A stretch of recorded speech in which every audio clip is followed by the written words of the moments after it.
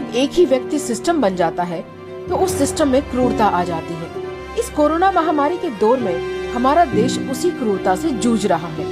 System की इस क्रूरता को न ऑक्सीजन की कमी से दम तोड़ते मरीजों की परवाह है और न ही आईसीयू बेड, वेंटिलेटर रेमडेसिविर की तलाश में भटकते परिजनों की चिंता। क्योंकि क्रूरता सिर्फ़ अपने मन की बात करती है, उसे औरों के विचार या अभिव्यक्ति सुनना पसंद नहीं होता। और सलाह लेना तो बहुत दूर की बात है।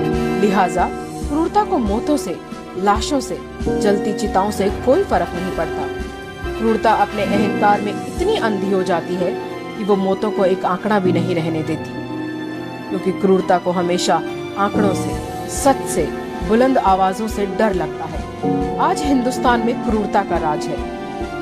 और उसके लिए हिंदुस्तानियों की ज़िंदगी इतनी सस्ती हो गई है कि कोरोना से हो रही मौतों को आंकड़ों से भी गायब कर दिया जा रहा है। ये दरअसल खतरे के वक्त गर्दन ज़मीन में घुसा लेने वाले शतुरमुर्ग जैसा रवैया है।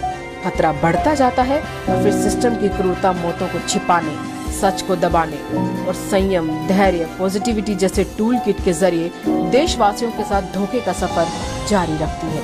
हमें उम्मीद है कि भाजपाई सल्तनत ऐसे हथकंडों के बजाय संकट की गंभीरता को समझकर अपनी नाकामी को स्वीकारते हुए सही फैसले लेने का साहस दिखाएगी।